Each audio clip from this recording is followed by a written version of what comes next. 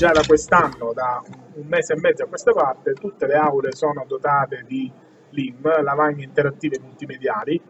E la cosa importante è sono arrivati anche i tablet. Eh, I nostri docenti hanno ciascuno un tablet in dotazione eh, e cominciano a fare didattica anche con i tablet. Eh, abbia- ah, sì, come, esattamente come Ah. quello che vediamo.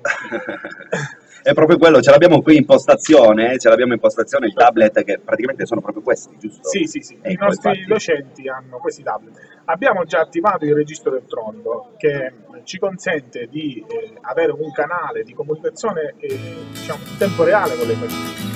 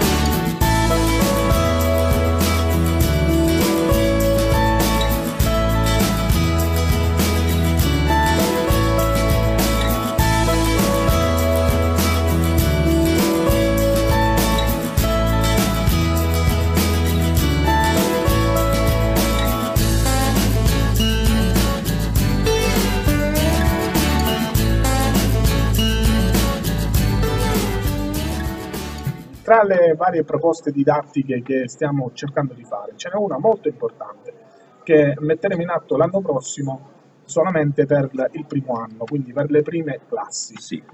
L'idea è quella di fare una didattica più coinvolgente, una didattica in cui eh, utilizziamo eh, tecnologia, eh, utilizziamo per esempio i tablet. Ehm, a tal proposito noi eh, abbiamo già aderito a un progetto che si chiama Book in Progress, in cui sostanzialmente eh, i libri di testo ce li facciamo noi.